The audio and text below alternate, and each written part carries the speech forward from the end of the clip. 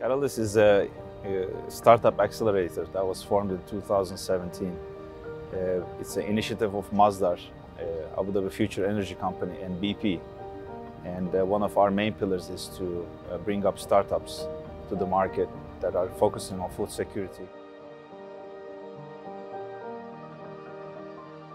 It's quite challenging, to be honest with you. Uh, it's really not that easy to, to get the startups uh, to shape so they can uh, grow and become successful, profitable companies. I'm not sitting in the, in the seat of a management. I'm a farmer as well. So, uh, and all my Emirati friends, they're actually farmers in, in UAE. Uh, and it was very interesting to see how they can uh, overcome uh, most of the challenges by their interesting uh, initiatives within their farms. So um, that's why it kind of overlapped together when Masdar uh, started to target uh, farming, especially vertical farming like we have uh, in our city.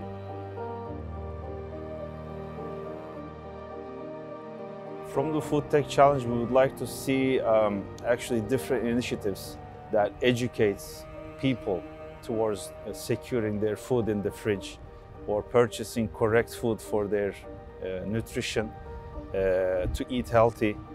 These are some of the aspects that are uh, missing because you cannot have these as just a, a, a public announcement type of uh, initiatives. You have to also bring some kind of profit behind it.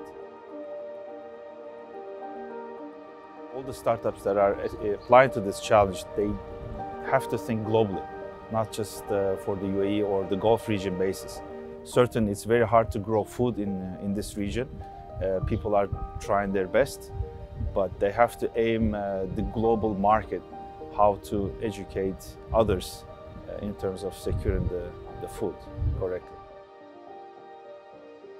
We define their KPIs for, for this idea to be real, for this company to be real, and, uh, and we provide a lot of uh, in-kind services from both of our shareholders, Masdar and BP.